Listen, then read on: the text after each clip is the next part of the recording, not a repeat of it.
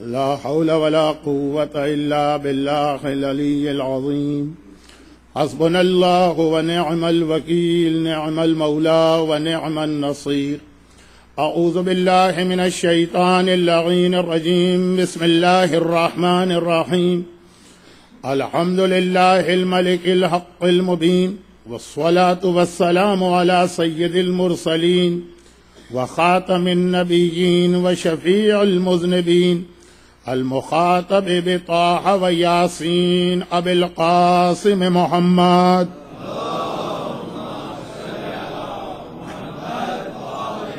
وآله الطيبين الطاهرين المعصومين المظلومين المنتجبين الميامين. سيما الإمام المنتظر والحجة الثاني عشر اللهم عجل له الفرج.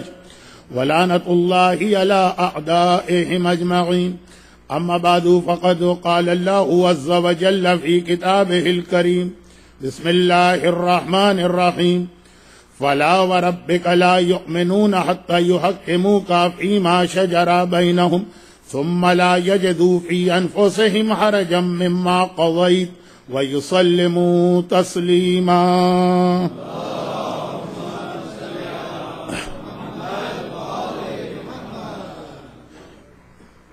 اگرچہ برادر محترم نے مجلس سے پہلے اعلان کیا تھا، لیکن شاید وہ اعلان انگریزی میں تھا تو سب لوگ نہیں سمجھے ہوں گے۔ اور وہ یہ ہے کہ ادھر انٹرنس بلاک ہو رہا ہے اور ادھر اتنی جگہ ہے کہ وہ جو آج کل ایئر لائن میں فرسٹ کلاس کے اندر فلیٹ بیڈ بنا کے دیتے ہیں، تو آپ حضرات شروع میں ہی جتنا اس طرف سمٹ کے آ سکتے ہو، آ جائیں۔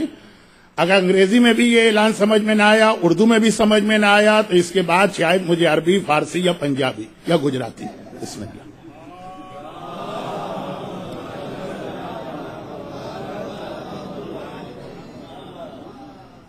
اور بھی بہت جگہ ہے ابھی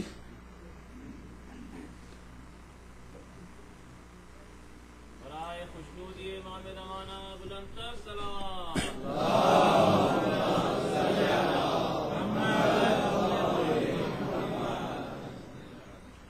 ایام ازا چودہ سو تینتیس ہجری کے پہلے اشرے کی پہلی مجلس۔ لیکن جیسا کہ آپ حضرات نے ساری زندگی، بلکہ شکم مادر میں، بلکہ باپ کے اسلاب میں، ایام ازا کے پہلے اشرے کے حوالے سے سنا ہوگا کہ پہلی مجلس میں عام طور پر ایک ایسی تمہید بیان کی جاتی ہے جس میں سے اکثر باتوں کا کوئی تعلق آنے والے اشرے سے بنتا بھی نہیں۔ اور اس لیے کہ تھوڑا سا فرق پہلی مجلس اور بعد کی مجالس کے مجمع میں ہو جاتا۔ تو آج بھی ہماری گفتگو کچھ اسی انداز کی ہوگی۔ لیکن ذہن میں بس ایک سوال یہ رکھنا ہے کہ نہ اہل بیت اتھار ہماری اس حاضری کے محتاج ہیں، نہ آقا حسین کو۔ ہماری کوئی ایسی خاص ضرورت کہ ہم ہر سال ایام ازا میں اس صف ازا پہ آ کے بیٹھیں۔ شب عاشور ایک روایت پڑھی جاتی ہے اور انشاءاللہ اس وقت تک زندہ رہا تو اس روایت کو میں اس وقت دہراؤں گا بھی۔ اور وہ یہ ہے کہ جب چراغ گل کرنے کے بعد چراغ کو دوبارہ روشن کیا گیا اور آقا نے ایک مرتبہ پھر یہ سوال کیا کہ تم میں سے کوئی بھی اپنی جگہ سے نہیں گیا؟ میں بار بار تم سے کہہ رہا ہوں کہ چلے جاؤ اور تم نہیں جا رہے۔ تو اس وقت وہ اصحاب جو بہت دیر سے خاموش بیٹھے ہوئے آقا کے مختلف جملوں کو سن رہے تھے اور مختلف انداز سے جو آقا ان سے جانے کی بات کر رہے، ان کی جانب سے ری ایکشن میں فقط خاموشی۔ لیکن اب ایک مرتبہ ان میں سے چند نے باقی کی نمائندگی کرتے ہوئے جب اپنے جذبات ظاہر کی تو ان میں سے ایک کا جملہ یہ تھا کہ اے حسین، میں نے تیرے نانا کا زمانہ دیکھا اور میں نے تیرے بابا کا زمانہ دیکھا، جو تو کہہ رہا ہے بالکل صحیح کہہ رہا ہے۔ تجھے ہماری کوئی ضرورت نہیں، ہمیں تیری ضرورت ہے۔ ہم تیرے محتاج ہیں۔ ٹھوکرے مار کے بھی نکالے گا تو ہم اسی دروازے پہ پلٹ کے واپس آئیں گے۔ یہ ایام ازا یہ صف ازا یہ ہمارا ماتم، یہ ہماری آزاداری یہ ہمارا غم۔ ہم اس کے محتاج ہمیں اس کی ضرورت۔ اور وہ جو ضرورت ہے وہ کئی حوالوں سے۔ آج کی بات سن کے یہ نہ سمجھیے کہ صرف یہی ایک پہلو۔ نہیں، کئی انداز سے، کئی حوالوں سے ہمیں اس چیز کی ضرورت۔ شب عاشور ہی کے جملے۔ کہا جاتا کہ ایک جملہ یہ بھی آیا تھا کہ حسین، اگر میں یہاں سے چلا بھی جاؤں تو اتنا بتا دینا کہ روز قیامت جب تیرے نانا سے ملاقات ہو۔ اور اگر تیری ماں نے یہ شکوا کر لیا کہ میرے لال کو چھوڑ کے آ گیا تو میں کیا جواب دوں گا؟ تو ایک وہ جواب بھی کہ یہ آزاداری ہماری ضرورت کیوں بنتی لیکن فی الحال جس چیز کو ذہن میں رکھ کے میں بات کر رہا ہوں، وہ یہ کہ جس مقصد کے لیے آقا حسین آج چودہ سو تینتیس ہجری کے ایام ازا شروع ہو چکے اور اکسٹھ ہجری کے ایام ازا میں یہ واقعہ پیش آیا۔ فورٹین تھرٹی تھری میں سے سکسٹی ون کو مائنس کر لیجیے، جتنے سال بنتے۔ جس مقصد کے لیے یہ قربانی دی گئی، آج بھی ہمیں اس کی اس حوالے سے انتہائی شدید ضرورت۔ کہ اس زمانے کو، جو آپ کو معلوم ہے کہ میری زندگی کا ہمیشہ سب سے اہم موضوع یہی رہا، کہ اس زمانے کو جسے فتنہ اور فساد کا زمانہ کہا گیا۔ آخری زمانہ یعنی فتنے کا زمانہ۔ دیکھیے، اس قسم کی نان سینس بات کو میں نے کبھی نہیں مانا۔ اور المہدی کا یہ ممبر بھی گواہ ہے کہ میں نے اس سے پہلے بھی کئی بات کہی کہ ٹو تھاؤزینڈ ٹویلو میں دنیا ختم ہو رہی، فلاں سال کے اندر قیامت آنے والی، فلاں سال میں امام ظاہر ہونے والے ہیں۔ نہ صرف یہ، بلکہ ایک بہت ہی مشکل اردو کا جملہ اب اس لیے عرض کر رہا ہوں کہ اس جملے کی تشریح آگے والی کسی مجلس میں مجھے کرنا تو میں اس کی تشریح نہیں کر رہا ہوں، لیکن یہ جملہ جو پچھلے سال کچھ واقعات ایسے پیش آئے۔ پچھلے سال کچھ واقعات ایسے پیش آئے جس میں ہمارے یوتھ یا ینگسٹر اپنے بھول پنے میں ٹریپ ہو گئے۔ اور اتفاق سے آج کی مجلس کا عنوان یہی ہے، لیکن یہ بات آگے چل کے آئی۔ یہ جو ایک جملہ میں کہہ رہا ہوں، یہ آج کا عنوان نہیں۔ لیکن اس کے بعد جو میں نے کہا کہ ہمارے یوتھ ٹریپ ہو گئے اور وہ آج کل بہت زیادہ ٹریپ ہو جاتے ہیں۔ پچھلے سال ایک خاص ایسا واقعہ پیش آیا جس پر اسلامی جمہوریہ ایران میں جتنے ہمارے مراجے موجود، ان کی نائنٹی فائیو پرسینٹ تعداد نے صرف یہ جملہ کہا کہ یہ والا عمل حرام ہے۔ سب کی تشریح ہونا ہے لیکن آج نہیں۔ اور اس کے اندر پھر ایک جملہ کہا گیا جس کو میں آپ کے سامنے بغیر کسی وضاحت کے آج پیش کر رہا ہوں۔ اور وضاحت اس لیے نہیں کر رہا کہ اس کی وضاحت میں میں چلا گیا۔ تو میری آج کے مجلس کا عنوان رہ جائے گا جو میرے اعتبار سے بہت اہم عنوان۔ اور وہ جملہ یہ کہ ظہور امام کی ساری نشانیاں پڑھی۔ ظہور امام کی ساری نشانیوں پہ غور کیجیے۔ ظہور امام کی ساری نشانیوں سے ڈریے۔ ڈریے ان معنوں میں۔ کہ شاید یہی ہمارا آخری زمانہ آخری زمانہ۔ اور شاید ہماری یہی رات، آخری رات۔ تو پھر ڈرنے کی کیا بات ہے؟ خوش ہونے کی بات ہے؟ نہیں، وہ ڈرنے کی بھی بات ہے۔ لیکن یہ وضاحت تو میری طرف سے تھی، جملہ یہ تھا کہ کبھی بھی تعین نہ کیجیے گا۔ اس لیے کہ تعین توقید کی جانب لے جاتی ہے اور توقید حرام بھی ہے اور گمرہی بھی۔ حرام بھی ہے اور گمرہی بھی۔ تعین یعنی کسی بھی نشانی کو لے کر، اپنے زمانے کی کسی شخصیت پر اس کو یقین کے ساتھ اطلاق مت کیجیے گا کہ یہ نشانی اور ہمارے سامنے فلاں شخصیت ہے، ہم سو فیصدی یقین کے ساتھ کہتے ہیں کہ یہی وہ شخصیت کیونکہ یہ عمل توقید کی جانب لے جاتا۔ توقید یعنی یہ ایک طرح سے ظہور امام کی تاریخ آپ نے معین کر دی۔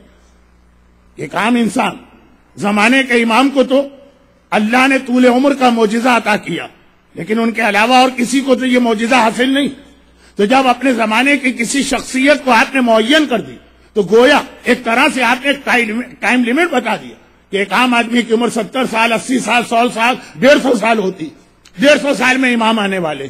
تعین ہمیشہ توقید کی جانب لے جاتی۔ اور توقید اسلام میں حرام بھی ہے اور کھلی گمرہی بھی۔ اچھا اب اس کی بہت وضاحتیں ہوتی رہیں۔ گی اور ہر بیس، پچیس، بلکہ آج کل تو زمانہ بڑا فاسٹ ہو گیا۔ پہلے ہر بیس، پچیس سال کے بعد ایسا کوئی شخص سامنے آتا تھا جو توقع یہ کہتا تھا کہ میں ڈیٹ دے رہا ہوں۔ امام اس تاریخ کو یا اس زمانے میں آنے والے۔ اب ہر پانچ سال کے بعد۔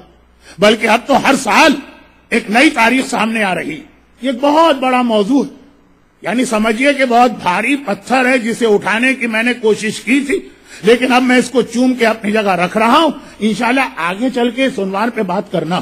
لیکن آقا حسین نے جو قربانی دی، وہ ہر دور اور ہر زمانے میں کام آنے والی قربانی ہے، خاص طور پر آخری یہ زمانہ۔ اور اس کا ایک سب سے اہم پیغام جو ہے، وہی سنی۔ کہ جس چیز کو یزید آقا کے خلاف بطور ظلم استعمال کیا کربلا کربلا کا یہ بہت اہم ایک پیغام۔ جس چیز کو یزید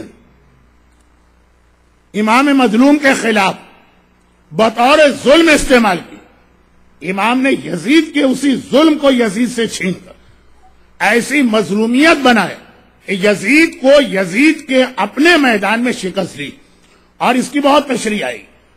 لیکن جس بھوک اور پیاس کے ذریعے یزید نے ظلم کرنا چاہا وہی بھوک اور پیاس کا ہتھیار امام نے یزید کے خلاف استعمال کیا۔ جس ہجرت کو یزید امام کے خلاف بطور ظلم استعمال کیا، اسی ہجرت کو آقا حسین اپنی کامیابی کا سب سے بڑا ہتھیار بنا لیا۔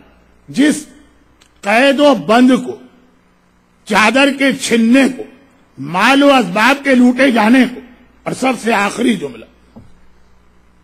کہ اپنے حساب سے جس توہین کو آقا سجاد کا جملہ شام شام شام اوقاد و زلیلن پی دمش یہ سب آپ کے ذہن میں ہو۔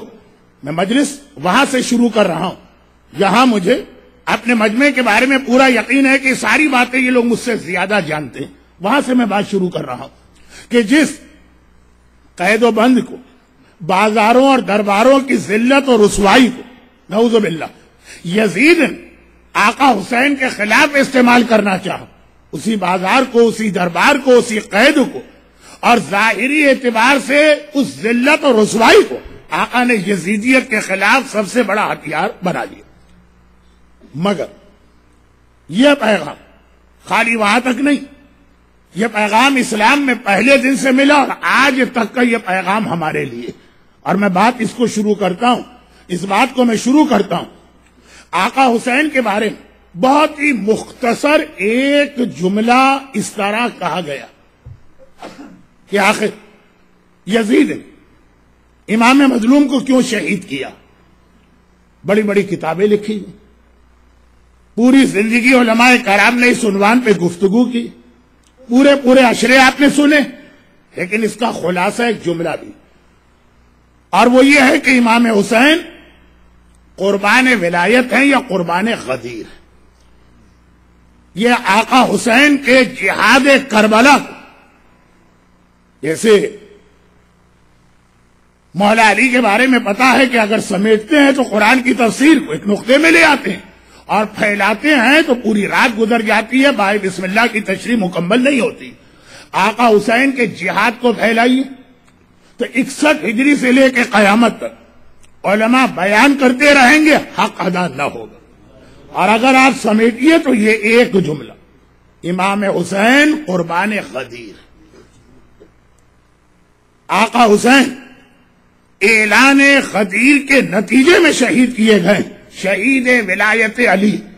اگر ولایت علی کا اعلان غدیر خم میں نہ ہوتا، تو کربلا کا واقعہ شاید پیش نہ آتا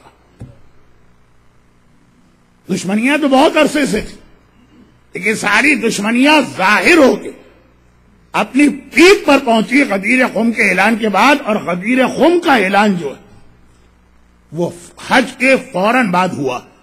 اسلام، جو بھی حکم، جو بھی مسئلہ، جو بھی انسٹرکشن جو بھی ہدایت ہمارے لیے آتی، ہر ایک کے پیچھے کوئی نہ کوئی حکمت یا فلسفی یا لاجک ہوتی۔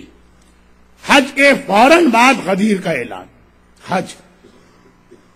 خالی جو ہمارے یہاں لوگوں میں عقیدت ہے کہ مکی اور مدینے کی زیارت کرنے اس کا نام حج نہیں۔ حج کے پیچھے ایک بہت بڑا فلسفہ۔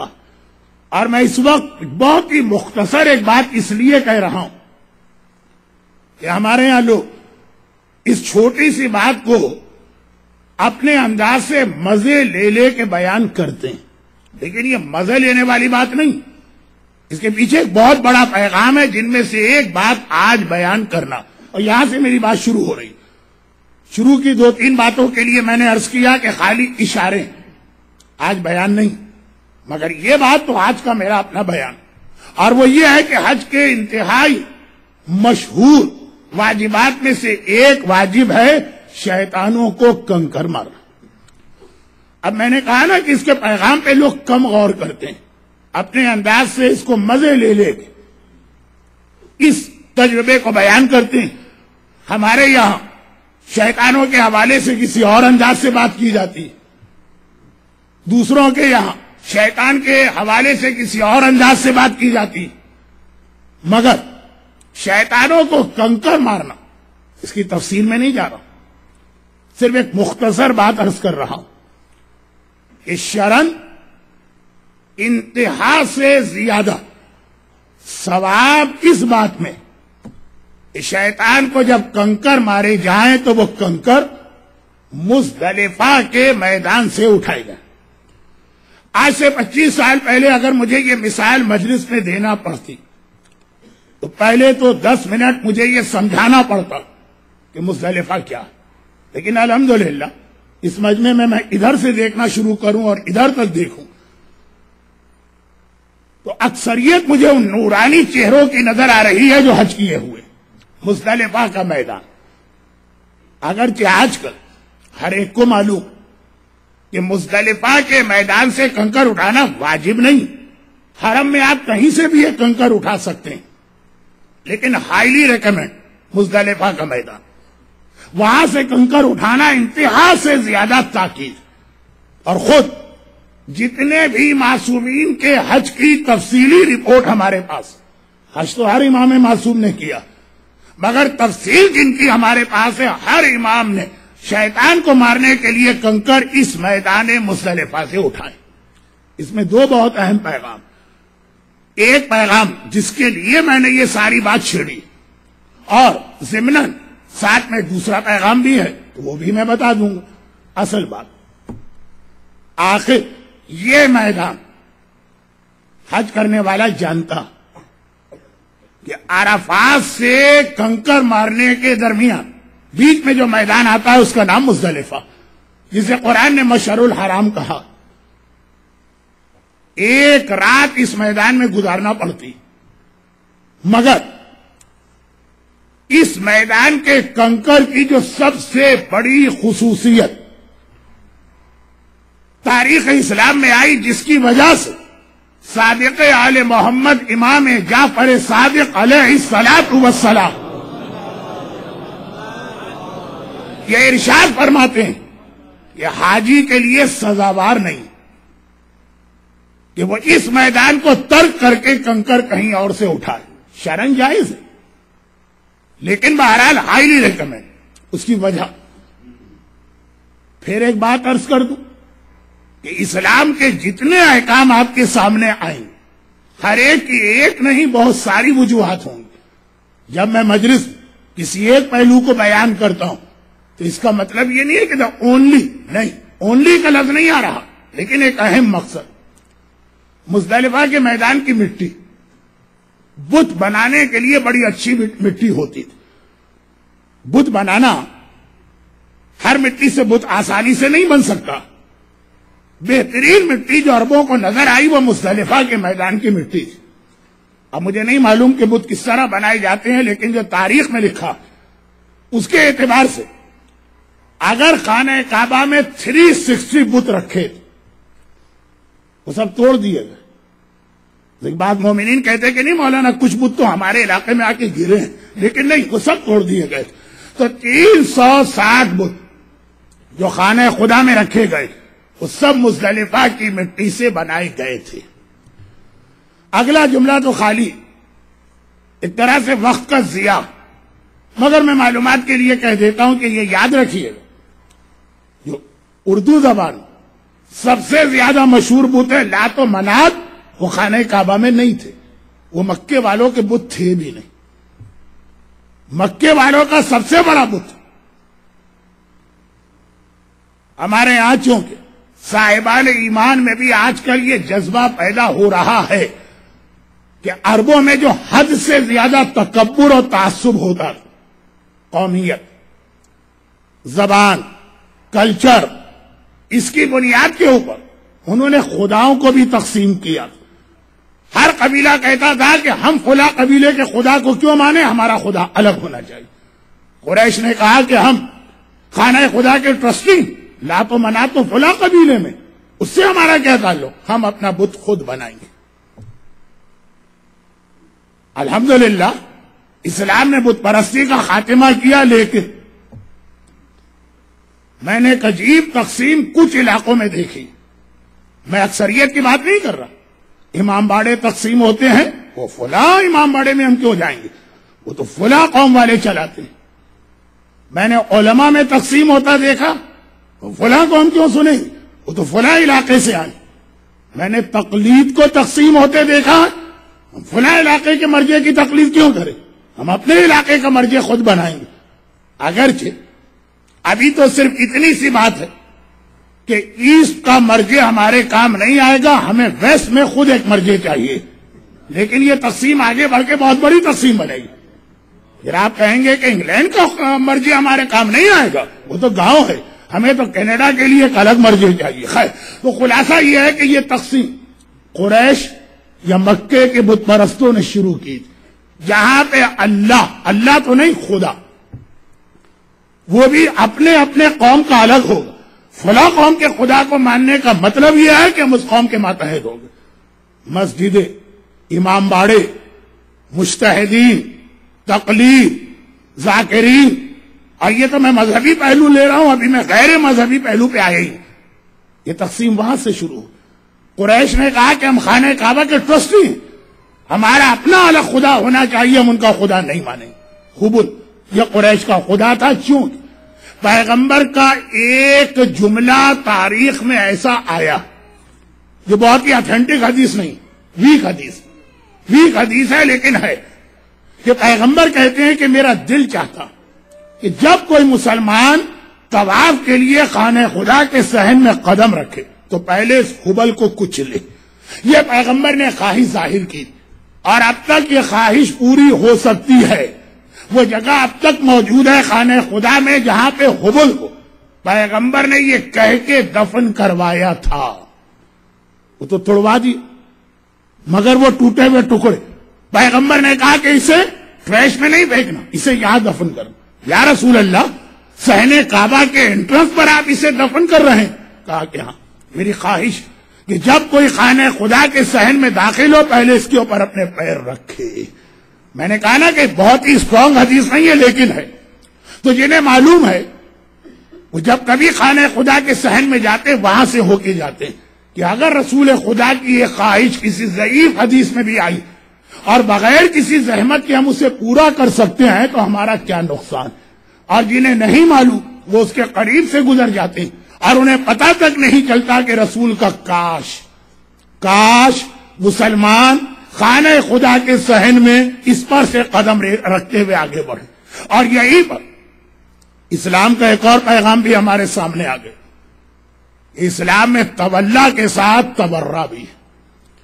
یاد رکھیے کہ ہمارا عنوان اس اشرے کے لیے طلّہ مگر اسلام میں طلّہ کے ساتھ تبرہ بھی، بلکہ شاید تبرہ پہلے ہے طلّہ بعد میں۔ لا الہ پہلے ہے، اللہ بعد میں۔ خانہ خدا کا طواف بعد میں ہے، حبل کے اوپر پیر رکھنا پہلے۔ یہ ساری چیزیں اپنے مقام پر آتی رہیں گی، تو خیر، پیغمبر کی یہ خواہش ہے۔ البتہ وہ گالی والی دینا تبرہ نہیں ہے، جو طلّہ ہے جب میں اسے سمجھاؤں گا تو خود بخود سمجھ میں آ جائے گا کہ تبرہ کیا ہوتا۔ ہے واپس آئیے۔ زیارت عاشورہ میں جو ایک لفظ آتا ہے، اب رہو۔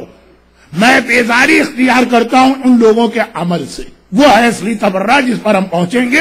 ابھی تو جو آج کا اپنا پیغام میں مکمل ہو جائے۔ پیغمبر، جب یہ تین سو ساٹھ بت بت شکانی کے موقع پہ سب توڑے یا توڑوا دی، تو اس کے بعد یہ طریقہ کار اختیار کیا۔ اسلام میں بت سات، آٹھ ہجری میں ہوئی، حج نو ہجری میں آئے کہ اگلے سال جب رسول اللہ حج پر گئے، تو ایک مرتبہ کہا کہ مصطلفہ کے میدان میں رکو۔ اور یہاں سے کنکر اٹھاؤ، وہ شیطان کے خلاف استعمال ہوں گے۔ ایک سال پہلے کعبے کے سارے بتوں کو پیغمبر نے توڑوایا۔ اور اگلے سال جب پہلا حج اسلام میں واجب ہوا، تو کہا کہ کنکر یہاں سے اٹھا یا رسول اللہ اتنا بڑا میدان۔ عرفات، جو مستلفہ سے کم از کم four times five time bigger larger وہاں سے نہیں، آپ یہاں سے کنکر اٹھوا رہے ہیں۔ کہا کہ ہاں۔ جو کہ عربوں نے اسی میدان کی مٹی کو اپنے خیال میں اللہ کے خلاف استعمال کیا۔ اسی میدان کی مٹی سے انہوں نے بدھ بنائے تھے۔ تو اب قیامت تک بدھ کیا چیز ہے؟ شیطان کا ایک ٹول ہے، شیطان کا ایک طریقہ ہے آدمی کو گمراہ کرنے کا۔ خالی وہ ہاتھ کے بنائے ہوئے اسٹیچو ٹائپ کی چیز کا نام بت نہیں ہے۔ وہ جو قرآن نے کہا کہ تمہاری خواہشات تمہارا خدا۔ بعض لوگوں کا مال ان کے لیے بت ہوتا۔ بعض لوگوں کے اپنے ویسٹڈ انٹرسٹ، بعض لوگوں کی فیملی، بعض لوگوں کا ایگو۔ سب سے بڑا بت تو یہی ایگو ہے۔ ہر ایک کو شیطان گمراہ کرتا ہے۔ شیطان کو کس نے گمراہ کیا؟ شیطان کو اس کی ایگو نے گمراہ کیا۔ سب سے بڑا خدا، سب سے بڑا بت تو یہی ہے۔ مگر ساری باتیں ایک ایک کر کے اپنے وقت پر آئیں گے ابھی تو بہت مختصر۔ کہا کہ شیطان، یہ بت تو اس کا ٹول تھا نا، ایک ذریعہ تھا، ایک طریقہ تھا جس سے اس نے گمراہ کیا۔ اس میدان کی مٹی کو شیطان نے اربوں کی نسلوں کی گمراہی کے لیے استعمال کیا۔ وہ پاک و پاکیزہ گھر، جسے ابراہیم و اسماعیل نے بنایا۔ اور وہ پاک و پاکیزہ شہر، مکہ وہ شہر تھا جہاں کوئی آدمی نہیں رہتا تھا۔ پہلا انسان جو رہنے گیا وہ جناب اسماعیل تھے، ایک معصوم۔ وہ شہر گمراہی کا مرکز بنا۔ کس لیے؟ کہا شیطان نے مستلفہ کی مٹی کو استعمال کیا۔ تو آپ جس مٹی کو شیطان نے اللہ کے خلاف استعمال کرنے کی کوشش کی، کیونکہ یہ لفظ اچھے نہیں لگتے اللہ کے خلاف۔ شیطان کی حیثیت کیا؟ تو میں نے لفظ کوشش اس میں شامل کر دیا کہ شیطان نے کوشش کی کہ جس مٹی کو اللہ کے خلاف استعمال کرے۔ اللہ نے کہا کہ ٹھہر گیا یہی میدان کی مٹی اب قیامت تک۔ شیطان پر کنکر مارنے کا اور شیطان کی اسٹوننگ کا اور شیطان کی سنباری کا سبب بنے گی۔ لیکن اس کے نیچے جو میسج چھپا ہوا ہے وہ سمجھیے۔ میسج یہی تو بنانا کہ جس چیز کے ذریعے سے شیطان انسانوں کو گمراہ کرتا، مومن کا کمال یہی ہے کہ وہی چیز شیطان سے چھینے اور وہی چیز شیطان کے خلاف استعمال کرے۔ تو نے اس ذریعے کو، تو نے اس چیز کو، تو نے اس طریقے کو دین کے خلاف استعمال کرنا چاہ۔ اب دیکھ مومن کا طریقہ کار کہ تیری ہی بنائی ہوئی چیز وہ کس طرح تیرے خلاف استعمال ہوگی؟ یہ حج کا پیغام ہے جس کے فوراً بعد غدیر ہمارے سامنے آئی۔ اور یہاں رک کر میں نے کہا کہ ایک اور پیغام بھی آپ کو بتا دیا جائے، اگرچہ یہ دوسرا پیغام میرے پاس تفصیل میں جانے کا آج وقت نہیں۔ آگے چل کے یہ بات آئی کہ اصحاب کربلا، جن کے بارے میں آقا حسین نے کہا کہ خدا کی قسم آدم سے لے کے میرے بابا تک کسی نبی اور ولی کو ایسے ساتھی نہ ملے کہ جیسے مجھے ملے۔ وہ اصحاب کربلا، ان کا کرائٹیریا کیا تھا؟ ان کا معیار کیا تھا؟ لیکن یہاں رک کے ایک بات میں اور کر دوں۔ اور اس بات کے لیے میں معذرت کر لوں ان لوگوں سے جنہوں نے اب تک حج نہیں کیا ہے۔ اللہ ہر مومن اور مومنہ کو جلد از جلد حج بیت اللہ اور زیارات چار معصومین سے مشرف کرے۔ اچھا مجھے نہیں معلوم کہ یہاں کا ہیٹنگ سسٹم کیا ہے۔ مجھے تو ویسے ہی ہمیشہ گرمی لگا کرتی۔ لیکن اس وقت میں مجمع میں سے بہت سے لوگوں کو بے چین دیکھ رہا ہوں۔ تو اپنی بے چینی کی وجہ سے نہیں، مجمع کی بے چینی کی وجہ سے اگر کچھ ہیٹنگ کم کی جا سکتی ہو تو ہیٹنگ کم کرے اور آپ حضرات ایمان کی ہیٹنگ بڑھا دیجیے، ایک مرتبہ بآواز بلند درود بھیج کر۔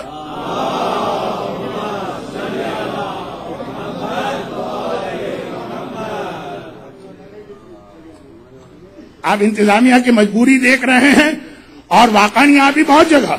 اگر میرے اختیار میں ہوتا میں پچاس سے سو آدمی اور بھی اس جگہ کے اندر لا کے بٹھا سکتا تھا۔ مجھے حج کا تجربہ۔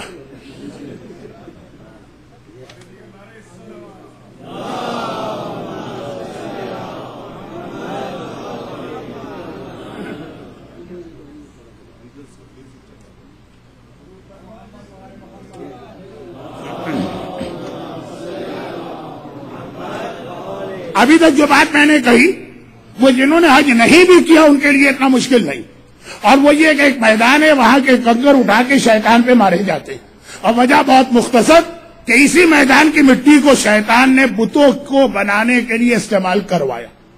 دنیا کا پہلا بت شیطان نے بنوایا، حضرت ادریس۔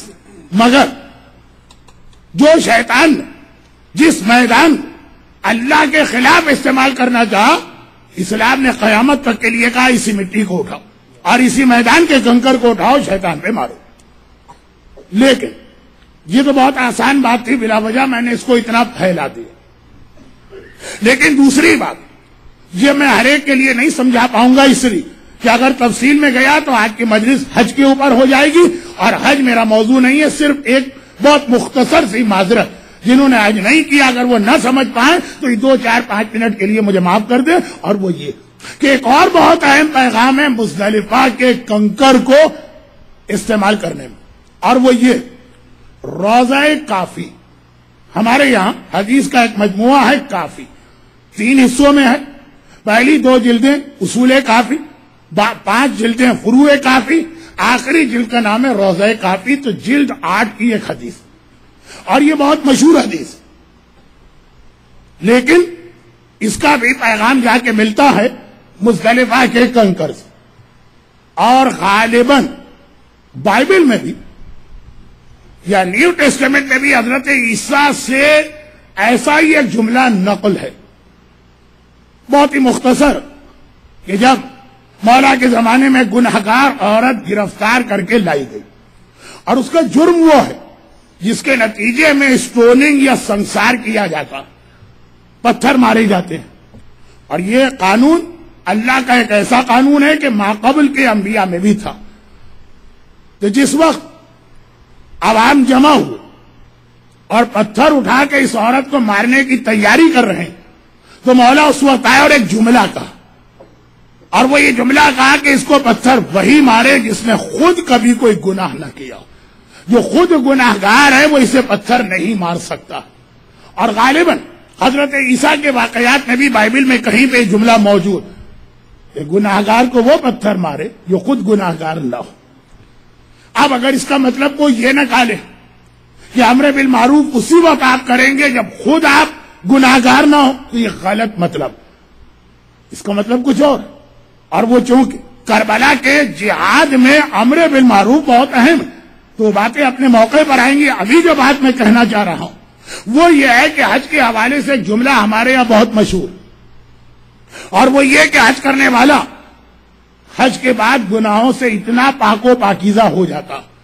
جیسے نیو بورن بیبی وہ بچہ جو ابھی ابھی پیدا ہوا۔ بہت ہی مشہور یہ حدیث ہے، ہر آدمی جانتا۔ بلکہ بہت سے لوگ پہلے زمانے میں اس وجہ سے حج نہیں کرتے تھے۔ کہ بھائی اگر جوانی میں جا کے حج کر لیا تو اب گناہ اتنے ہی معاف ہوں گے جتنے اب تک کیے ہیں۔ تو جو باقی ہم گناہ کرنے والے جو ہماری پلاننگ میں ڈائری میں لکھا یا کمپیوٹر میں ہم نے فائل بنا کے سیو کیا ہوا، وہ گناہ کیسے کریں گے؟ تو ایسے وقت میں جاؤ کہ گناہ کرنے کی طاقت ہی نہ رہے۔ دیکھیے، بہت سے لوگوں کے ذہن میں خیال تھا، الفاظ مختلف ہوں گے کہ حج تو بڑھاپے میں ہوتا کہ جس کے بعد آدمی گناہ ویسے ہی نہیں کر پاتا۔ لیکن وہ نیج البلاغا کے آخر میں مولا کا ایک کلمات القصار میں حکمت بھرا ہوا کلام۔ بہت سے لوگوں کو مجبوری معصوم بنا دیتی۔ اب شراب پینا ڈاکٹر نے منع کر دیا ہے تمہارا لیور جا, جا چکا ہے۔ خبردار اب شراب نہ پونا۔ اب نہیں پیے گا شراب۔ لیکن مجبوری کا گنا اور جو ایک مثال میں دیتا ہوں کہ عورت گنجی ہو گئی اور اس کے بعد اگر وہ حجاب کر رہی ہے تو یہ حجاب اسلام کا حجاب نہیں کہلائے۔ گا نہیں یہ مثال آپ کے لیے فٹ نہیں۔ آپ کے لیے فٹ مثال یہ ہے کہ ابھی ویدر اتنی برف پڑے گی اور ٹھنڈک ہوگی کہ ہر عورت آپ کو لپٹی نظر آئے گی حجاب کے اندر۔ یہ والا حجاب وہ حجاب کو چھوڑیے جو اللہ مانگ رہا۔ سردی کے سے بچنے والا حجاب نہیں، نامحرم سے بچنے والا حجاب۔ تو خیر، مجبوری بہت سے لوگوں کو متقی بنا دیتی۔ اب بڑھاپے میں حج اس لیے کرو کہ پھر کوئی گناہ کی طاقت ہی نہ رہی، لیکن نہیں۔ وہ جو حج کا پیغام ہے کہ حج آپ کو گناہوں سے پاک و پاکیزہ کر دیتا۔ میں کئی جگہ اپنے آپ کو روک رہا ہوں۔ مجھے ایسا لگ رہا ہے کہ میں سلپ ہو کے کسی اور موضوع پہ جاتا ہوں تو پھر میں رک جاتا ہوں۔ تو حج گناہوں سے پاک کرتا سوال یہ پیدا ہوتا اتنے سارے حاجی بیٹھے۔ حج کے اٹھارہ واجبات میں وہ کون سا مرحلہ؟ جہاں اللہ گناگار کے سارے گناہ معاف کر دیتا۔ حج مکمل ہونے کے بعد یہ ہوتا ہے کہ حج کے درمیان کون سا وہ مرحلہ ہے جہاں جانے کے بعد یہ والی حدیث پوری ہو جاتی ہے۔ کہ اب آپ گناہوں سے اتنا پاک و پاکیزہ ہو گئے، عموماً عمل مکمل ہونے کے بعد اس کا نتیجہ سامنے آتا۔ حج میں ایسا نہیں۔ حج جب آپ عرفات کا میدان حاصل کر لیں، اس جملے کے لیے میں نے معذرت کی تھی کہ جو اب تک حج نہیں کر سکے، میں ان کو نہیں سمجھا پاؤں گا۔ اور مزدلفہ کے میدان میں آپ کا قدم پہنچ جائے۔ عرفات جو یوم حج حج ڈے کے نام سے پوری دنیا کے ٹیلی ویژن پہ دکھایا جاتا، عرفات میں اگر کوئی حاضر ہو جائے اور عرفات اس کو مل جائے وہاں پہ اتنی رحمت نازل ہوتی ہے کہ وہ ہر گناہ سے پاک و پاکیزہ ہو گئے۔ جب شام کو سورج ڈوبتا، جب سن سیٹ ہوتا، تو خالی سن سیٹ نہیں ہوتا، گناہوں کا سورج بھی ڈوب رہا ہوتا ہے۔ سارے گناہ لے کے وہ سورج اس دنیا سے جاتا ہے۔ آپ اتنے پاک و پاکیزہ ہو چکے ہوتے۔ گرچہ اس کے پیچھے ایک واقعہ بھی ہے کہ جب رسول اللہ نے آخری حج کیا تو رسول کی وجہ سے اس سال بہت رش تھا۔ اور ایک آدمی اونٹ پر بیٹھا مجمے کی وجہ سے اس کے اونٹ نے اس کو پھینک دیا، وہ مر گئے۔ اور اس کے گھر والے پریشان کھڑے تھے کہ اس کے حج کو کیا سمجھے۔ ابھی تو اس نے احرام پہنا۔ پیغمبر نے کہا حج جو آ اس کا حج ہو گیا۔ اسے ساری برکتیں، ساری رحمتیں، ساری مغفرتیں بھی مل گئی اور اب اس کی طرف سے حج نہیں کروانا ہے، کیونکہ عرفات میں آنے کا مطلب حج کی ساری برکتیں مل گئی تو جب عرفات کا دن، سوری، ان لوگوں سے معذرت۔ جو حج نہیں کر سکے لیکن جائیے ضرور پھر حج پر۔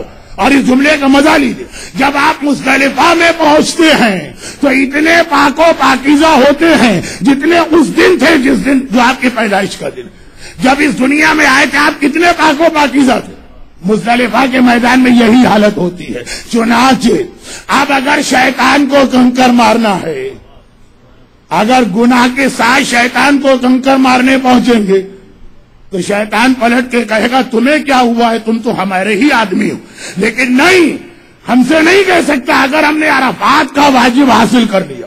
سارے گناہ معاف کرا دیے۔ مزدلفہ میں جب آپ پہنچے تو اتنے پاکیزہ ہیں جتنے اس دن تھے جس دن ہماری ماں نے ہم کو جنم دیا۔ اب جو کنکر اٹھا کے ہم شیطان کو ماریں گے۔ تو مولا کا جملہ، اسے وہ کنک پتھر مارے جو خود گناہ گار نہ ہو۔ اب ہم گناہ گار نہیں ہے حضرت عیسیٰ کا جملہ، اسے وہ پتھر مارے جو گناہ گار نہیں ہے۔ مزدلفہ کے میدان سے اس لیے پتھر اٹھوائے گئے کہ اس دن آپ اتنے ہی پاک و پاکیزہ ہو جاتے۔ شیطان کو مارنا ہے۔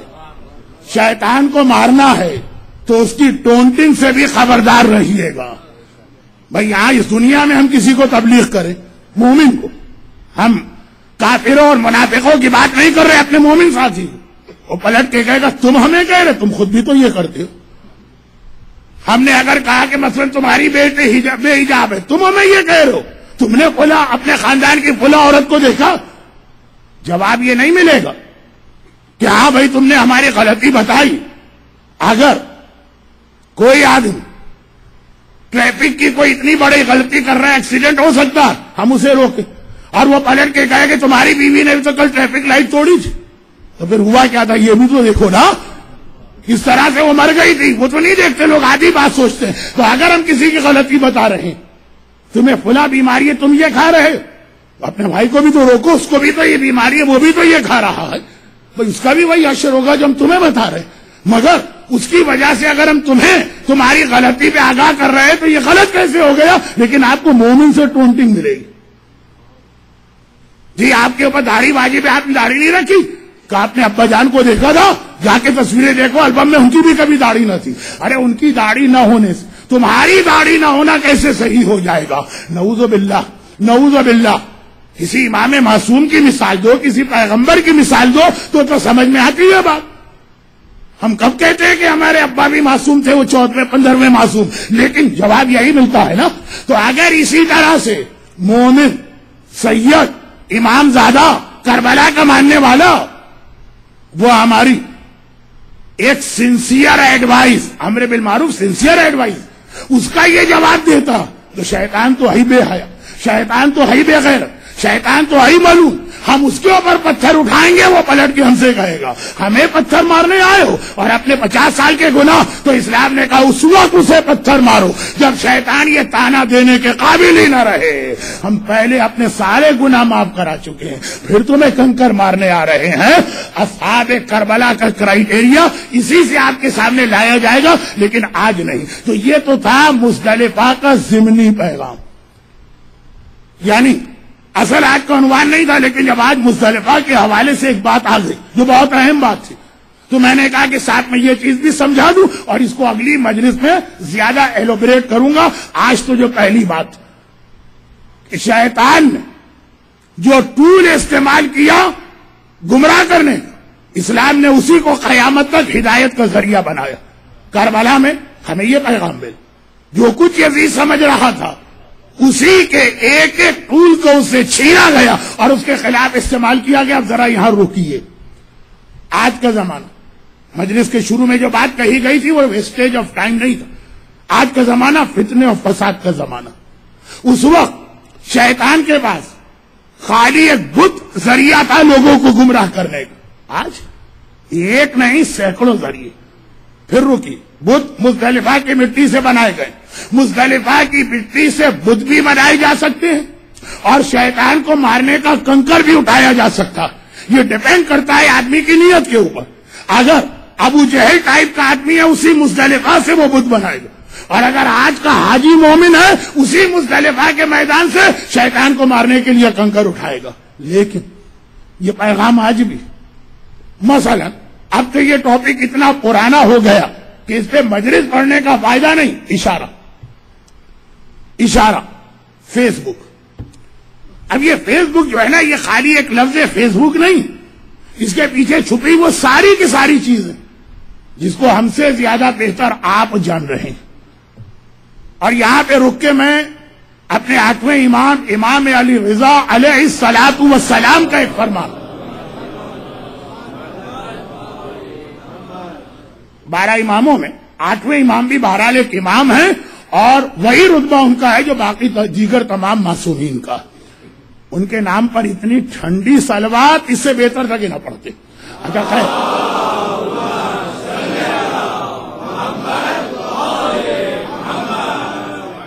بہت ہی مشہور ایک حدیث ہے، وقت کم ہے تو میں خالی اشارہ کر رہا ہوں۔ جسے مرحوم آیت اللہ خوئی نے تفسیر البیان کے مقدمے میں بہت تفصیل کے ساتھ نقل کیا ہے کیونکہ اس کتاب کو انگریزی اردو ترجمہ ہو چکا۔ تو تفصیلی حدیث وہاں ملے گی، مگر امام نے یہ فرمایا کہ اللہ نے اپنے انبیاء کو جو معجزات عطا کیے، اس میں اس بات کا خیال رکھا کہ جو اس زمانے کی علم کی ترقی ہے، جو علم اس زمانے میں چل رہا، اسی کے اعتبار سے معجزہ دیا جائے۔ اور اس کی پوری تفصیل ہے کہ آخر یہ کیوں؟ اب اس میں امام سمجھاتے کہ حضرت موسا کے زمانے میں جادوگری کا رواج تھا۔ تو موسا کو موجودہ بھی وہ ملا کہ اسائے موسا صوبان اشدہ بنا عیسیٰ کے زمانے میں میڈیکل سائنس بہت ترقی پر تھی۔ تو موجودہ یہ ملا کہ حضرت عیسیٰ ان بیماریوں کا علاج کرتے جس کا علاج اس زمانے کی میڈیکل سائنس میں بھی نہیں تھا۔ حتی مردے کو زندہ کر دیتے۔ اور پیغمبر کے زمانے میں کم از کم یہ ترسٹھ سال کی زندگی اربوں میں، فساد و بلاغت و شعر و شاعری کا۔ تو ایک ایسا قرآن کا معجزہ عطا کیا گیا۔ مگر یہ پوری حدیث کا خلاصہ ایک جملہ۔ وہی جہاں سے میں نے مجلس شروع کی، وہی جہاں درمیان مجلس میں میں مصطلفہ کے کنکر پہ پہنچا، اور وہی جہاں آخر مجلس کے مذاہب پر میں واپس اس پیغام پہ آ گیا۔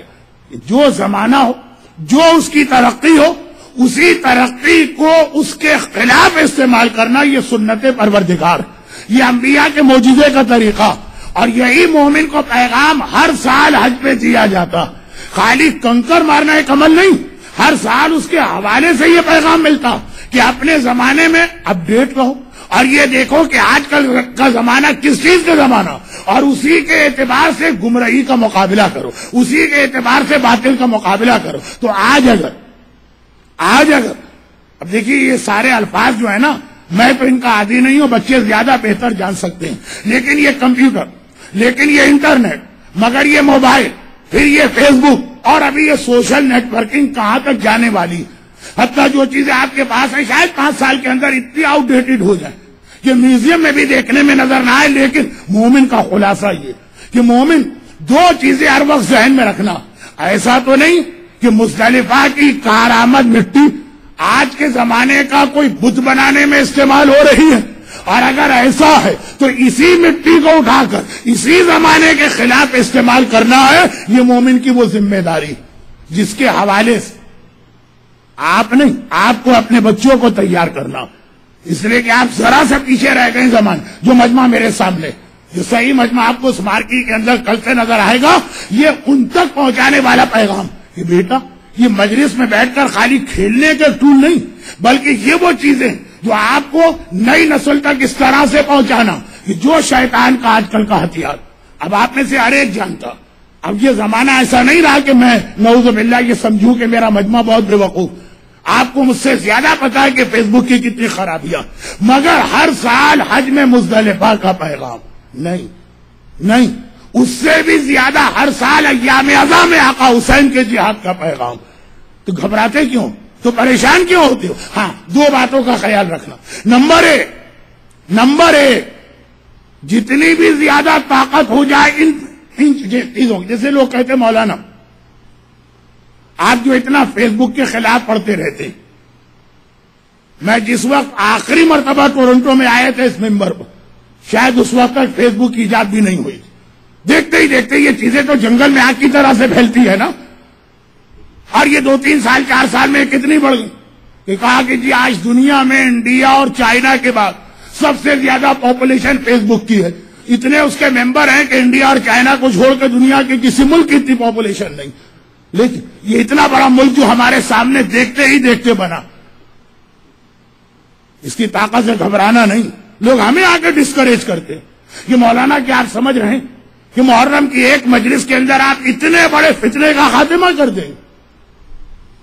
میں نے کہا آپ نے مجھے ڈرانے کی کوشش کی اور واقع میں ڈر بھی جاتا۔ اگر میں کربلا کا ماننے والا اور حسین کے جہاد کو دیکھنے والا نہ ہوتا، دنیا کی کسی قوم سے میرا تعلق ہوتا، اسلام کے کسی فرقے سے میرا تعلق ہوتا، یقیناً آپ کا یہ جملہ مجھے ڈرا دیتا۔ ایک اکیلا آدمی جنگل کی آگ کی طرح پھیلتے ہوئے یہ فتنے اور جیسا کہ میں نے خود عرض کیا کہ یہ تو ابھی ایک چھوٹی چیز ہے۔ آگے پتا نہیں کتنی ترقی ہونے والی ہے دو تین سال کے اندر اندر۔ کسی بھی میں قوم اور فرقے سے تعلق رکھتا آپ کا جملہ مجھے ڈرا دے۔ واقع میں اکیلا کیا کر سکتا ہوں؟ چلو جا کے گھر میں بیٹھ جاؤ۔ لیکن میں کربلا کا ماننے والا ہوں۔ اور اگر کبھی تھوڑی دیر کے لیے شیطان میری میموری پہ پردہ ڈال بھی دے، تو ہر سال جو ایام اعظام محرم کا چاند نمودار ہوتا ایک مرتبہ پھر مجھے وہ طاقت عطا کرتا، ایک مرتبہ پھر مجھے وہ انرجی دیتا، ایک مرتبہ پھر مجھے شیطان کا مقابلہ کرنے کے لیے وہ ٹول اور ہتھیار عطا کرتا ہے۔ حسین بھی اکیلے تھے۔ اور ہر آدمی حسین کو بھی یہی مشورہ دے رہا تھا۔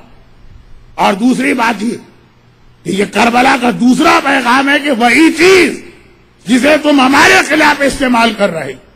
ہم تمہارے ہی لشکر سے ہر کو نکال کر اس اسی ہر کو تمہارے خلاف استعمال کریں گے۔ یہ دو پیغام مزید وضاحت آئندہ ہو۔ مگر خود بتائیے، جب آقا حسین مدینے سے چلے، تو کیا ایک آدمی آپ کو ایسا نظر آ رہا؟ پوری اسلامی دنیا میں ایک آدمی، جو حسین کے اس قدم سے متفق، جو حسین کی اس پالیسی کو سرا رہا۔ غیر نعوذ باللہ معصوم ایمان کے لیے جملے ٹھیک نہیں۔ مگر غیروں کی بات نہیں کرتا ہوں۔ مگر جو خاندان کے باہر کے افراد ہیں ان کی بات نہیں کرتا ہوں۔ مگر جو حسین کو امام نہیں مانتے ان کی بات نہیں کرتا ہوں۔ خود خاندان کے افراد میں سے بھی۔ ایسے لوگ سامنے آئے۔ جنہوں نے یہی جملہ کہا کہ آقا حسین کیسا جہاد کرنے جا رہے ہیں؟ یہ وہ لوگ جو حسین کی عظمت کو مانتے ہیں۔ یہ وہ لوگ جو حسین کے رتبے کو پہچانتے ہیں۔ ان میں سے جو حسین کی امامت کے قائل ہیں، وہ تو وہ جملہ کہتے ہیں جو عبداللہ ابن جعفر طیار نے کہا۔ اور آن محمد کے حالات کی جو مجلس ہوگی اس کے اندر میں اس کو پڑھوں گا مسائل۔ کہ حسین، اگر میرے اختیار میں ہوتا تو میں تیری پیشانی کے بال پکڑ کے تجھے روک دیتا اور کوفے تو نہ جانے دیتا۔ لیکن چونکہ مجھے پتا ہے کہ تو امام وقت ہے، میرا امام ہے، جو کر رہا ہے وہ بالکل ٹھیک کر رہا۔ مگر پہلا والا جملہ، اپنے تجربے کی روشنی میں عبداللہ ابن جعفر تیار۔ سمجھ رہے ہیں کہ کوفے جانے کا موقع نہیں۔ حسین کی امامت ہے، تو اپنی عقل کو تابع کر دیا حسین کے عمل کی یہ مومن سے ایک مطالبہ ہے اسلام کا۔ ہر جگہ عقل عقل استعمال نہ کرو۔ امامت نام اس بات کا ہے کہ خالی ایکشن ہی نہیں، اپنی عقل کو بھی تابع کرنا ہے امام کے۔ بات کی بات کی وجہ سے۔ لیکن عبداللہ ابن عباس نے تو یہ جملہ بھی نہیں کہا۔ کہا حسین یہ ارادہ نہ کر۔ عبداللہ ابن جعفر تیار مکے میں آئے تھے۔ وہ مذاہب کی بات کی منزل ہے آج تو ہمیں مدینے سے حسین کی رخصتی پڑھنا۔ عبداللہ ابن عباس مدینے میں آئے۔ اٹھائیس رجب کا قافلہ تیاری کے مراحل میں۔ اور یہی آ کے تو عبداللہ ابن عباس کہتے ہیں۔ عبداللہ ابن عباس کسی چھوٹی شخصیت کا نام نہیں۔ میرے مولا کے وہ شاگرد ہیں۔ ان کو ساری رات مولا نے بسم اللہ کی تصویر سنائی اور ختم نہ ہو۔ مولا اتنے قریبی رشتہ دار ہیں کہ ایک طرف بس کزن بنتے ہیں، دوسری جانب۔ انہی کی بیٹی لبابا کو عباس سے علمدار کے لیے۔ اپنی بہو کے طور پہ علی نے منتخب کیا، ساری زندگی علی کے ساتھ گزارنے والے۔ جنگ صفین میں۔ جب یہ طے ہوا کہ ایک آدمی علی کی جانب سے بھیجا جائے، تو مولا نے اپنے سارے لشکر میں انتخاب کیا عبداللہ ابن عباس کا۔ اور ایک عجیب مشورہ ان کو دیا جو نیج البلاغا میں غالباً سیونٹی ایٹ نمبر کی مولا کی جو رائٹنگ ہے، اس میں آپ پڑھ لیجیے۔ گا آج کل کے بچوں اور نوجوانوں کو وہ بہت اہم ہے، وہ چیز سمجھانا۔ لیکن خیر، اب میں دیکھ رہا ہوں کہ آج وقت اتنا نہیں رہا۔ عبداللہ ابن عباس، میں خالی ان کی عظمت بتا رہا تھا اس جملے کی وجہ سے۔ کون سا جملہ؟ وہ آگے کہتے ہیں، حسین۔ جانے کا ارادہ ہی ہے تو کوفہ ہرگز نہ جانا مجھ سے زیادہ کوفے کو کون جانتا؟ مولا کے ساتھ کوفے گئے تھے، مولا کی شہادت تک کوفے میں رہے۔ اب یہ وہ لوگ جنہیں ہم دشمنوں کی فہرست میں جگہ نہیں دیتے۔ مگر مشورہ ان سب کا یہی نظر آ رہا۔ اب جو بات میری تھی اس کو میں اب دوبارہ دوہراتا نہیں۔ یہ ڈر کہ باطل بہت بڑھ گیا۔ یہ ڈر کہ باطل بڑا طاقتور ہو گیا۔ اور سب سے زیادہ یہ ڈر کہ تم اکیلے رہ گئے۔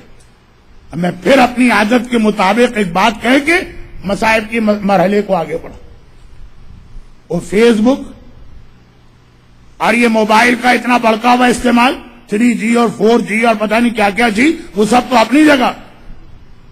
چھوٹی سی خاندان کی برتھ ڈے پارٹی ہو تو وہاں بھی آدمی یہ کہہ کے خاموش کرا دیا جاتا۔ اپنے خاندان کی بات میں فیس بک کی بات نہیں کر رہا جو انڈیا اور چائنا کے بعد دنیا کا سب سے بڑا ملک۔ میں بات کر رہا ہوں، چالیس آدمیوں کا ایک مختصر تھا، خاندان ٹورنٹو میں رہتا۔ پچیس آدمیوں کا ایک مختصر، وہاں بھی آپ بولنا چاہے تو لوگ کہتے تھے، تم اکیلے کیا کر لو میں شادی کی بات بھی نہیں کر رہا، جہاں دو سو تو بلائے جاتے ہوں گے نا۔ میں تو خالی ایک برتھ ڈے پارٹی کی بات کر رہا ہوں۔ وہاں بھی ہمیں نہیں بولنے دیا جاتا ہے۔ یہ کہہ کے نہ بولنے دیا جائے تو الگ بات ہے۔ کہ بھائی یہ شریعت محمدی کا مسئلہ بتا رہے اس سے ہمارا کیا تعلق؟ یہ نہیں کہا جاتا، یہ کہا جاتا ہے کہ تم اکیلے کیا کر لو گے؟ ہر سال ایام ازا یہ یاد دلاتے کہ حسینیت تو نام اس بات کا ہے، جب سب خاموش رہے تب تم کو بولنا۔ کربلائی تو کہتے اسی کو ہیں کہ جب سب کے ہونٹوں پہ اپنے اپنے مفادات اور ویسٹرن انٹرسٹ کے تالے لگے تب تم آگے بڑھ کے قربانی دو۔ ہم سے تو وہ قربانی بھی نہیں مانگی جا رہی، جو اصحاب ایمان سے مانگی گئی۔ خاندان کو چھوڑنا پڑے گا، چھوڑ دے۔ وطن کو خیر بات کہنا پڑے گا، کہہ دی بھوک اور پیاس کے مرحلے سے گزرنا پڑے گا، گزر۔ چھوٹے چھوٹے بچے۔ یہ جملہ میں اکثر شب عاشور پڑھا کرتا ہوں، لیکن آج سن لی قربانیوں کے حوالے سے بات۔ جب اٹھائیس رجب کی شب آئی یا اٹھائیس کا دن آیا، حسینی قافلہ تیار ہونے لگا۔ محلہ بنی ہاشم میں پہرا لگ گئے آج محلہ بنی ہاشم کا انتظام اور کنٹرول۔ عباس جیسے خیرت مند بھائی کے ہاتھ میں۔ بالغ تو بالغ، نابالغ، ممیز بچہ بھی آج محلہ بنی ہاشم کی کسی گلی سے نہیں گزر سکتا۔ حسین کا حرم جا رہا۔ اور سواریاں بھی کس شان کے ساتھ لائی گئی تھی جب وارث زندہ ہوتے ہیں نا، جب بہنوں کے پردے کے محافظ بھائی زندہ ہوتے ہیں نا، تب اسی انداز کا اہتمام ہوتا ہے۔ محملے بھی ہیں ہماریاں بھی ہیں۔ ویسے تو ساری زندگی اپنے لال کا ماتم کرنے والی فاطمہ، لیکن آج میں کچھ مومنین کے گریے کی آواز ابھی سے سن رہا ہوں۔ آپ کا تو گریا ابھی شروع ہوا ہوگا، لیکن رات کا اندھیرا چھایا اور پھر نیا ایام عذاب فاطمہ زہرا کے ماتم کی کا کیفیت ہوگی۔ اٹھائیس رجب کا قافلہ تیار ہو رہا۔ محملے بھی ہیں ہماریاں بھی پردے بھی۔ اور ہر ایک کو سوار کرنے والے اس کے وارث بھی۔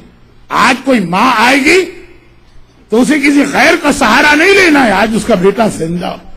آج اگر کوئی بہن آئے گی، اسے کسی غیر کا سہارا نہیں لینا اس کا غیرت مند بھائی زندہ۔ آج اگر کوئی بیٹی آئے گی تو باپ اسے گود میں اٹھا کے محمل میں بٹھائے گا۔ آج شمر کے تماچے نہیں لگیں گے، آج ہمارے ساتھ کے کوڑے نہیں پڑیں گے۔ حسینی قافلہ تیار ہو گئے۔ میرے آقا کو سورج ڈوبنے سے پہلے پہلے مدینے سے نکلنا تھا۔ چنانچہ جب سواری آ گئی، انتظامات مکمل ہو گئے۔ ایک بار پیغام، حسین کا پیغام بیت شرف میں گیا۔ کنی سے کہا، جا کے میری زینب سے کہہ دو کہ سواری آ گئی اب چلنے کی تیاری کر۔ اور اس موقع کے صرف دو جملے بیان کر کے آج آقا حسین کا اتنا ہی سفر بیان کرنا۔ اب جب یہ سواریاں تیار ہو گئی تو سغرا ایک مرتبہ آگے بڑھ کر رباب کے قریب آتی۔ اما میں نے اب تک اپنے بھائی اصغر کو گود میں بھی نہیں لیا۔ اصغر کی پیدائش کو دو ہفتے بھی نہیں ہوئے۔ سغرا اس دو ہفتے سے بیمار۔ بیمار بچی نے اس نو مولود بھائی کو اب تک گود میں نہ لیا تھا۔ لیکن جب دیکھا کہ آج میرا بھائی جا رہا اما ایک لمحے کے لیے اصغر کو میری گود میں تو دے دی۔ مرحوم خطیب اعظم مولانا غلام عسکری صاحب اللہ مقام یہ جملے اکثر نقل کیا کرتے۔ رباب نے اصغر کو سغرا کی گود میں دیا ننی بہن نے بھائی کو لیا، کان پہ منہ رکھ کے صرف ایک جملہ کا۔ دیکھیے، یہ دو جملے ہیں اٹھائیس رجب کی تاریخ۔ پہلا جملہ بہن بھائی سے کہہ رہی دوسرا جملہ باپ کو بیٹے سے کہنا پڑا۔ سغرا صرف سغرا نے صرف اتنا کہا بھیا سب مجھے چھوڑ کے جا رہے کیا تم بھی مجھے چھوڑ کے چلے جاؤ؟ اکبر کا جانا تو ضروری ہے، سغرا بھی جانتی ہے۔ تو بھی مجھے چھوڑ کے چلا جائے گا۔ بلکہ جملہ جو سننا تھا ہے تو علی کا پوتا نا، بھائی اس طرح سے بہن کے سینے سے چمٹ گئے جب رباب آگے آئی اصغر بیٹا قافلہ تیار ہو چکا ہے، تیری ماں کو جانا ہے، میری گود میں آ جا، بیٹا، اصغر آنے کو تیار ہے۔ کلسوم آگے بڑھی کبرا آگے بڑھی فروا آگے بڑھی حتیٰ یہ کہ زینب آگے بڑھی، لیکن اصغر ہے کہ بہن کی گود چھوڑنے کو تیار نہیں حسین نے پیغام پہ پیغام بھیجوا۔ جب تیسری مرتبہ حسین کا پیغام ملا، تو حسین خود آ گئے زینب بہن یہ جملہ ابھی بھی آپ سن رہے ہیں مسائب کے اگلے حصے میں بھی سنیں گے۔ زینب بہن، زینب شریکت الحسین ہے۔ ہر ہر منزل پہ حسین کے ساتھ ہے۔ حسین کے کاموں میں معاون ہے۔ تو کہا کہ زینب بہن، تمہیں پتا ہے کہ مغرب سے پہلے ہمیں مدینہ چھوڑنا۔ اتنی دیر کیوں ہو رہی؟ زینب نے کہا، بھیا ازغر نہیں مان رہا۔ اس طرح سے سگڑا سے چمٹ گیا ہے کہ سگڑا کی گو چھوڑنے کو تیار نہیں۔ میرا آقا آگے بڑھ۔ صرف ایک جملہ کا۔ پہلے جملے نے ازغر کو سگرا سے اس طرح چمٹا لیا اور اگلا جملہ گویا ایک مرتبہ ازغر اچھل کے بہن کی گود سے باپ کی گود میں آ گیا۔ اگلا جملہ صرف ایک دوسرا جملہ حسین نے کہا۔ ازغر میں تجھے کبھی تیری بہن سے الگ نہ کرتا۔ لیکن جو جہاد میں کربلا میں کرنے جا رہا ہوں، وہاں مجھے تیری ضرورت پڑے گی۔ تو تو میری فوج کا سب سے بڑا سپاہی بنے گا۔ وہ اتنا سننا ہے۔ بابا کی فوج کو میری ضرورت ہے۔ اصغر ایک بار بہن کی گود سے باپ کی گود میں آ گیا۔ مگر اس جملے کو بتاتے ہوئے جملہ میں اور کہہ گیا۔ اس کی بھی وضاحت ضروری ہے۔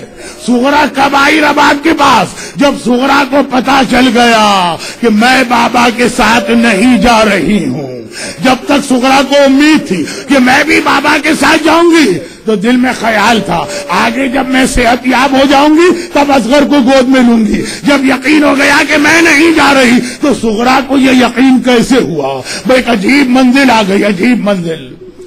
صاحبان اولاد میری بات سے اتفاق کریں گے۔ ایک آدمی کی چھ اولادیں۔ تین کو ایک چیز دے اور تین کو نہ دے تو صبر آ جاتا۔ چار کو دے، دو کو نہ دے تب بھی صبر آتا۔ لیکن ایک آدمی اپنی ساری اولاد کو ایک چیز دے رہا ہو، ایک کو دیکھ کر کہہ دے، تمہیں نہیں ملے گی۔ جس کو نہیں ملے گی وہ چیز اس کے دل میں کیا قیامت گزرے گی؟ میری خطا کیا ہے؟ میری غلطی کیا ہے؟ آخر مجھے کیوں محروم کیا جا رہا؟ جب حسین نے اعلان کر دیا، آج میری ساری بیٹیاں میرے ساتھ چلیں گی سگڑا میرے ساتھ نہیں جائے گی۔ سب میرے ساتھ چلیں گے سگرا میرے ساتھ نہیں چلے گی۔ ذرا سوچئے، ننی سگرا کے ذہن میں جا کے دیکھیے ہائے بیٹی پہ کیا قیامت گزر رہی ہے؟ ارے میرا بابا، سب کو لے کے جا رہا، مجھے لے کے کیوں نہیں جا رہا؟ اور واقعا یہ مسئلہ ہمارے اور آپ کے سوچنے کا تھا جب تک وہ روایت میرے سامنے نہ آئی۔ کون سی روایت؟ حسین نے کہا بیویوں اب جاؤ سگرا کو خدا حافظ کہنا۔ لیکن دیکھو بس جلدی سے جانا خدا حافظ کہہ کے آ جانا۔ کوئی بیوی سگرا کے پاس ٹھہرے نہیں۔ حسین کو معلوم ہے سگرا کسی نہ کسی کو اپنا سفارشی بنا کے لانے والی ہے۔ اور یہی سگرا نے سوچا ہوا تھا، مگر ہر بیوی آتی ہے۔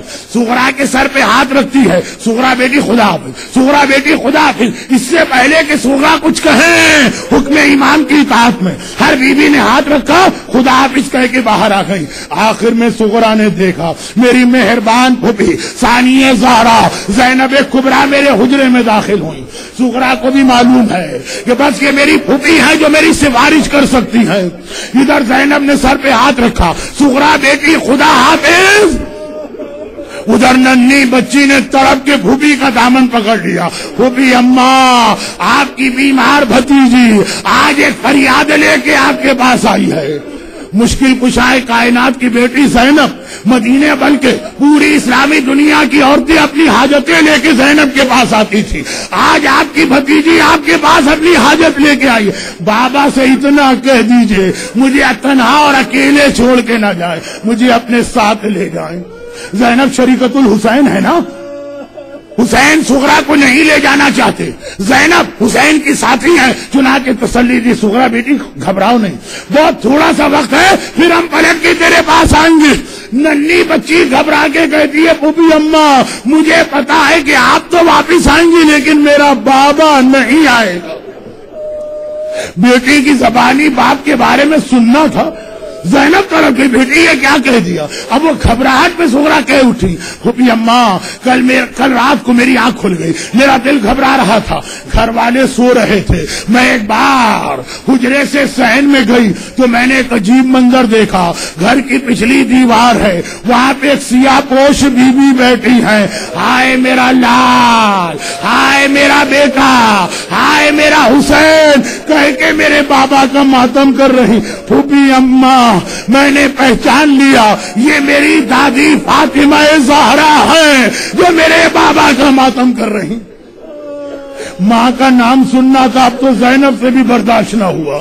کہا، سغرا، چل، میں تیری سفارش کرتی ہوں۔ ایک مرتبہ سغرا کا ہاتھ پکڑ کے زینب حسین کے حجرے میں آئی۔ اللہ اللہ، یہ دو سفارشیں ایسی ہیں۔ کہ حسین نے سفارش کرنے سے پہلے ہی ایک مرتبہ جواب دے دیا تھا۔ ایک، جب سکینہ عباس کو لے کے آئی تھی، چچا، چلے، میں آپ کی سفارش کرتی ہوں۔ اور اس سے پہلے آج مدینہ اٹھائیس جب زینب حسین کے حجرے میں سغرا کو لے کے داخل ہوئے۔ حسین نے منظر دیکھا، امام وقت ہے نا، امام زمانہ ہے نا، سمجھ گئے۔ کہا، زینب بہن میں سمجھ گیا سغرا کو کیوں لا رہی ہو؟ زینب سغرا کی سفارش نہ کرنا۔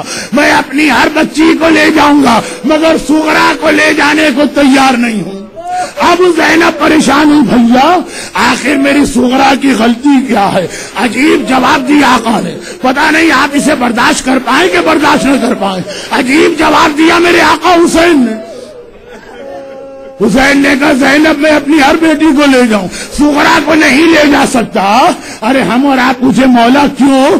تو حسین کا جواب یہ ہوگا، میری باقی جتنی بیٹیاں ہیں، یا وہ میرے نانا رسول خدا کی شبی ہے یا وہ میرے بابا علی مرتضی کی تصویر ہے لیکن میری سغرا میری ماں فاطمہ زہرا کی شبی ہے۔ ہائے حسین، بازار کوفہ، دربار شام بلویا ہائے نام روموں میں حسین اپنی ماں فاطمہ زہرا کی شبی کو بے مقنا چادر کیسے دے اجرکم اللہ۔ علا ولانت اللہ علا اعدائہم اجمعین۔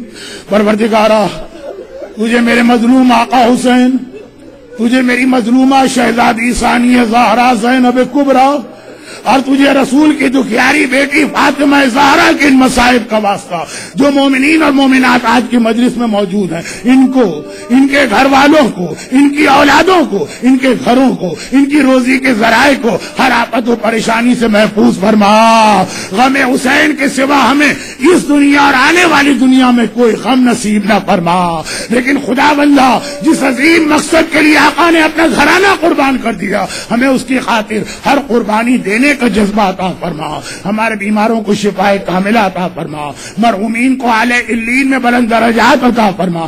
دنیا بھر میں جہاں جہاں پریشان حال مسلمان ہیں خدا بندہ ان کے اوپر ظلم کرنے والے سارے ظالموں کو نیست و نابود فرما۔